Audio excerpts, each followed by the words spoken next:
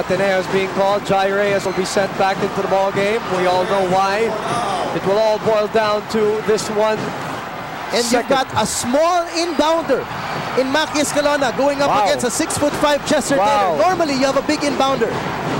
Normally, in situations like these, you have a tall inbounder to make sure he gets the pass uh, over the defender. Here we go, folks.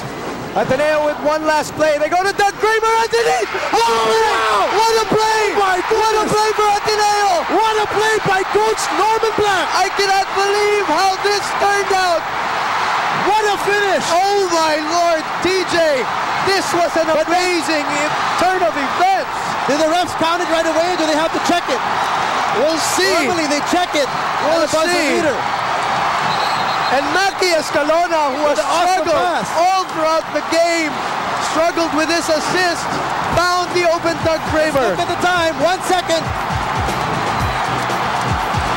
And it's Oh, good. It's good. By far, by and, far. And again, how many times has Doug Kramer shot a crucial jumper or undergoal stop for Ateneo at the end of the game? wow.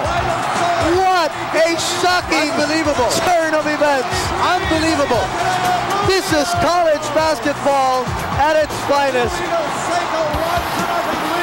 And Ateneo goes 1-0. What a play by Coach Norman Black. You've got to credit that Oh, play. yes. Number one, the gamble of putting a small Macky Escalona, but arguably his best passer on the team to make that difficult pass. This U- is UST, the young team that they are, they just did not execute defensively, and they didn't communicate on that screen that Doug Kramer went down to give the screen. I'm sure she's not the only one in tears right now.